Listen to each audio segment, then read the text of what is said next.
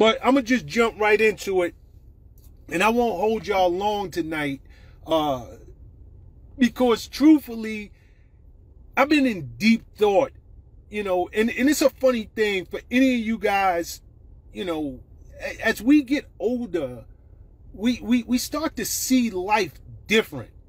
And it's not a bad thing, it's a good thing. You know, even for me, as I get older, I'm noticing it's just subtle changes. Once upon a time, I used to love eggs. And, you know, my taste buds are changing. I like eggs, but I don't love them the way I used to. A lot of the things I used to love doing, I don't love it no more.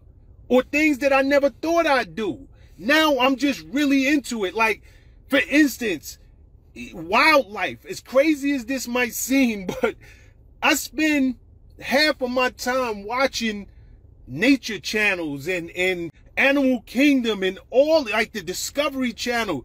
And I was watching a program the other day and they was just spotlighting the the the lifespan of a caterpillar and how it goes through the whole process of changing into a butterfly.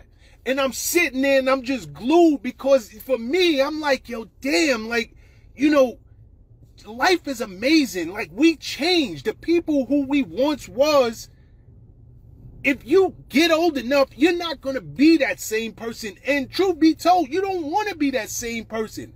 And as I was watching that show, I kind of came to learn like, which I didn't know is 98%, like literally 98% of, or better, 92% of all of the butterfly eggs, they never become butterflies. So you can see these caterpillars out there, but when they go through the transformation process, most of them, if not all of them, die. Only 8% of them live to become full-blown butterflies. And I'm sitting there and I'm thinking, like, change is such a beautiful, and, and that's what I want to, like, guys, we sit here and we fight change. We sit here and we look at change like it's a bad thing. When in essence, God designed us to change. Nothing about us is supposed to stay the same. The longer that we live on this earth, we are supposed to grow and we are supposed to blossom into something new every single day. And I was talking with somebody over the weekend and we were just getting into it. And I was saying how I admire people who are with their high school sweethearts or they are with their college sweethearts. Because do you know how hard it is to be with somebody who you met at 14, 15, 16 years old and you still with that same person 20, 30, 40 years later. Like people celebrating 50 year anniversaries, I give it up to them. And it's hard because it's one thing to go through the regular, you know, trials and tribulations, the ups and downs of a relationship.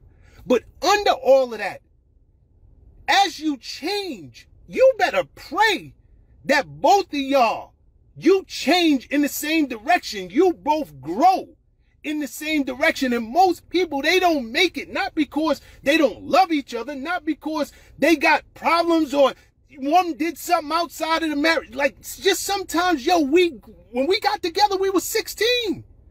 We 26 now.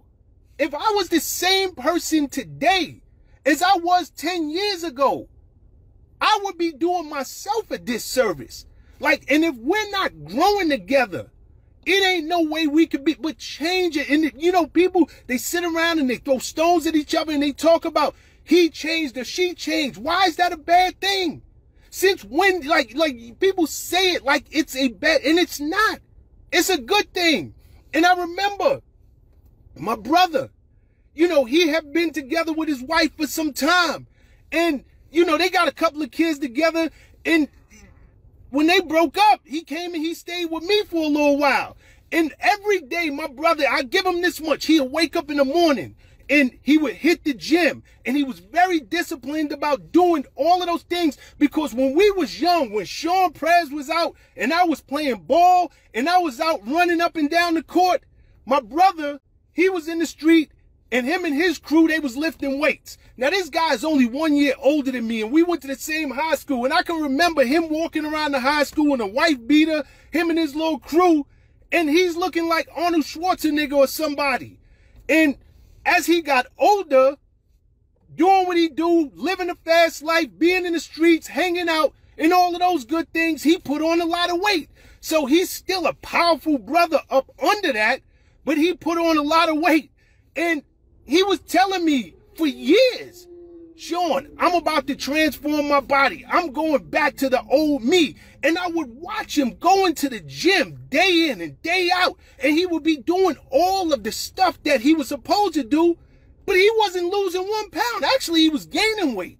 And I was asking him like, yo, son, like, when are we going to see the results of what you doing in the gym?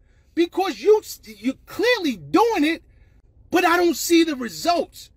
And when he came to stay with me, I would see him every day after work. He called it, yo, I got to make my little concoction. And he would make his drinks and it would be a half, like a half gallon of something. I don't know, vodka mixed with this, mixed with that, mixed with, and it occurred to me, like, you're doing all that you need to do to work on the outside to transform that. But your mind hadn't changed. You're still drinking like a fish, hanging out, doing all of the stuff, and it's not balancing itself out. So, because even though you're putting in the work in one area, it ain't balancing itself out in the other area and he couldn't lose that weight. And I'm sitting there laughing at him, but it, it made sense to me at that point. And that's what I'm trying to explain tonight to you guys. Transformation. Let's just focus on that word for a second. Transformation. It implies some type of metamorphosis. It implies some kind of difference being made. Transformation that's the road. That's the process. But change is where you want to end up. Transformation is just temporary. You're on that road. But the change, that is permanent. So if you guys are trying to be successful, and success, it is not always measured in the size of your bank account. It ain't always measured in the type of car you drive.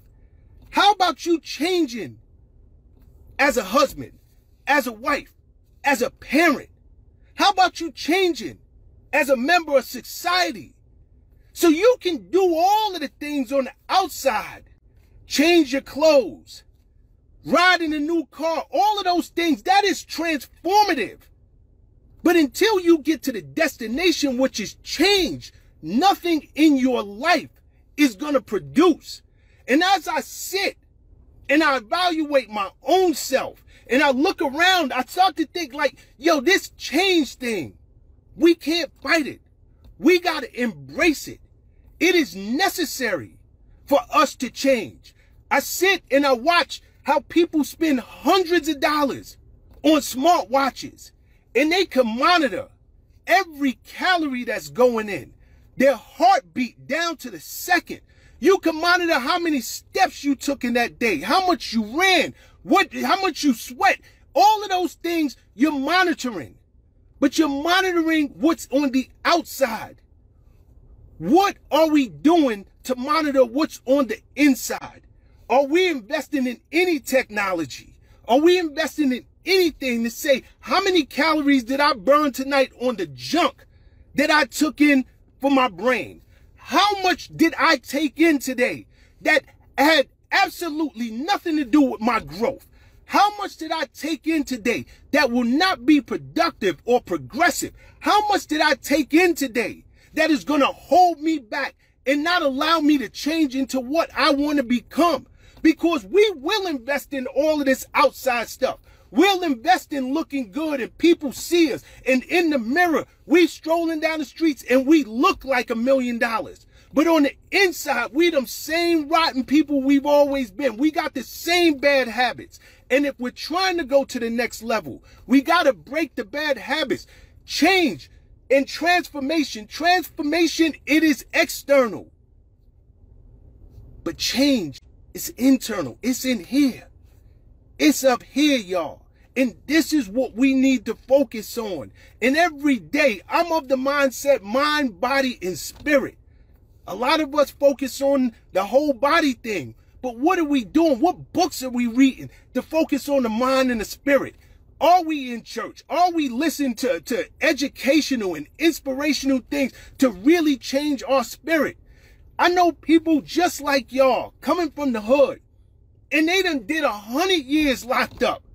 Come home and they look like they can lift buildings. The epitome of being just statuesque. Muscles from everywhere.